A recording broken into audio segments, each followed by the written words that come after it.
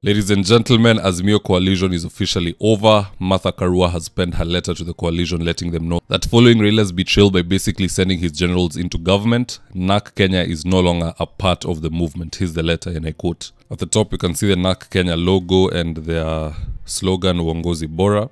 This is dated 25th July 2024, and it's being addressed to Honorable Junet Mohammed, the Secretary General of the Azimio la Umoja One Kenya Coalition Secretariat Parliament building. Onto the body, dear sir. Reason for the letter notice to exit from the Azimio la Umoja One Kenya coalition. And the body states kindly take note that our stay in Azimio la Umoja One Kenya coalition is not tenable due to prevailing political developments. As NARC Kenya, by way of this letter, we are giving notice to exit the coalition as stipulated in the exit clause into bracket S. I believe there's multiple clauses possibly in the coalition agreement.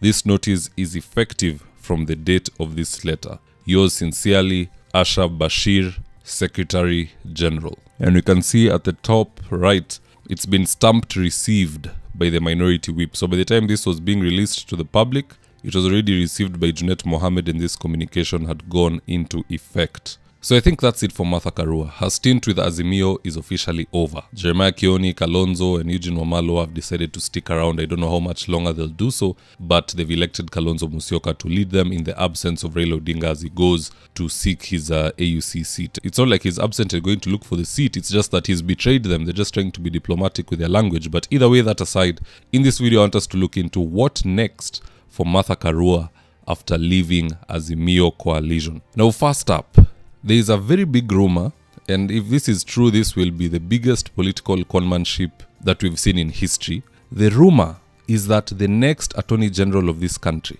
is likely going to be a one Martha Wangare Karua.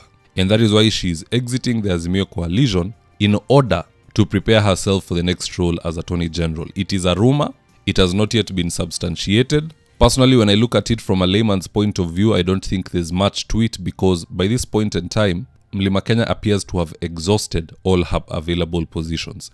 Eight positions in the cabinet have gone to Mlima Kenya. Will there be a ninth in the form of Attorney General? I don't really think so. But if at all they decide to even offer Martha Karua the role, chances are she won't take it. We know it because of her character. Martha Karua has so much, others call it integrity, let's be fair to her, others call it pride.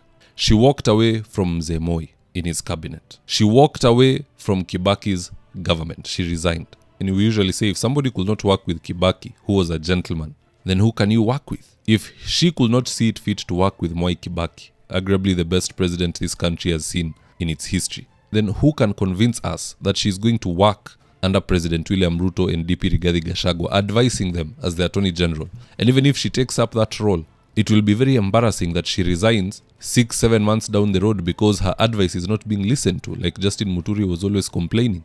Difference is Muturi was complaining, but he never resigned. The president had his complaints, he moved him to another docket. Now, in this particular case, Martha Karua might embarrass the president. Remember, at this point in time, the president cannot make any changes in his cabinet. His hands are tied. Any additional change that President Ruto makes in between now and 2027 just shows that Kenya Kwanza is totally confused, starting with the leadership. Because this first batch came in, they were approved, Aisha Jumwa and all the others in parliament. Then they were reshuffled. It was at that point that Moses Kuria went from Ministry of Trade and Investment and went to public service. Then after that, the entire cabinet was fired. After the firing, the president came out with the first batch of appointees. In that first batch of appointees, which he read even before the document got to Wetangula, it was shuffled again. Duale to environment, Soipan Tuya to defense. Then again, we have somebody, you know, any other change will just show lack of seriousness. So the president cannot afford to be appointing someone like Martha Karua. So I'm not going to buy into that story. But if at all, it will be to the detriment of Kenya Kwanza and to the shock of Kenyans. Second option for Martha Karua, which is the option that makes sense through and through, is for her to team up with DP Rigathi Gachagua. Because now more than ever, rebellion in Mlima Kenya should not be tolerated. Reason being, Mlima Kenya region is being alienated and it's being alienated before our eyes. What we are seeing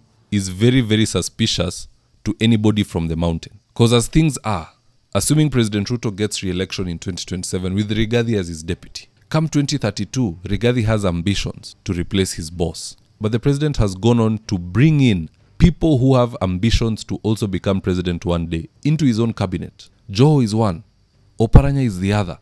As if Mudavadi being there was not bad enough, but at least he's a gentleman, you can kind of work with him and see how things turn out. Even the very critical docket of Treasury, which was headed by Njuguna Ndungu, now is currently being headed by John Mbadi.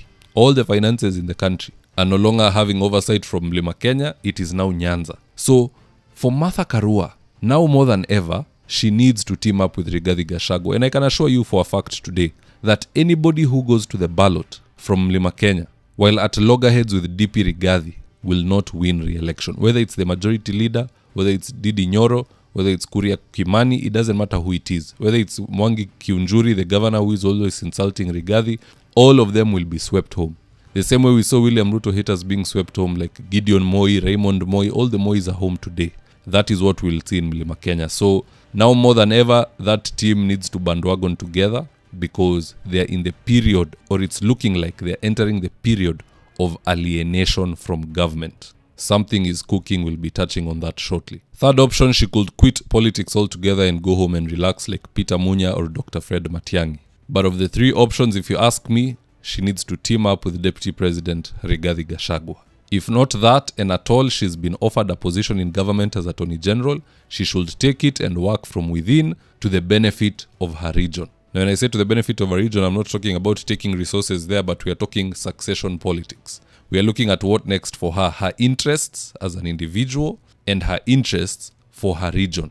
If Martha Karua at all cares about her region, she cannot be partyless like the Gen Z, because right now she's like a Gen Z. She's not in Azimio, she's not in Kenya Kwanza, she's not even in the cold corner of Kenya Kwanza where people are looking like they might team up to form a party anytime soon. she is partyless, leaderless. So she needs to make up her mind and make it up quickly because in a year's time, the gun for the race to begin for 2027 will be shot and we need to know who is where. Now is when people are aligning themselves and strategically and are looking after their own interests. And if at all she works with Rigathi Gachagua, if she wants governor, atapata. If she wants uh, women rep, whatever it is she wants, she'll get. It's only a position in government which is tricky because Rigathi doesn't really have that much leverage. The current CSS cannot be removed again. It'll be showing a total lack of seriousness. At the end of the day, guys, that's just my opinion. Do let me know your own comments in the comment section below. What do you think should Martha Wangare Karua do next in her political journey? I'll do my best to read your comments and to give you a response. And in the event you're here for the first time, please go and hit the subscribe button. And if you're watching from a different platform, just head on over to YouTube, search for David Wafula, hit the subscribe button. You're going to be getting a ton of content of this nature. If politics is something you're passionate about, this is definitely the one channel that you really, really need to subscribe to. All right, guys, adios.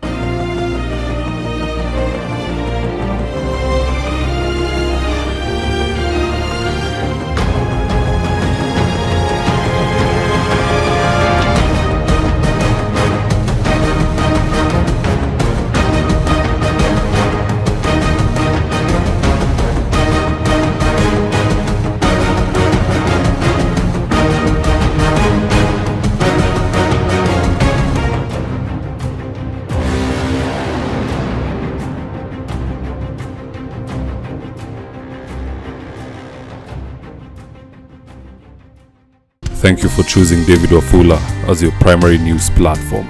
We put countless hours in research, recording, and editing. By showing up each and every day to watch our videos, you encourage us to generate more videos for the viewers.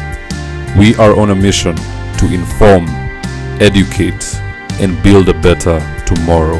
To our thousands of followers in a world full of presidents, kings, and queens, you are the real gem. Adios.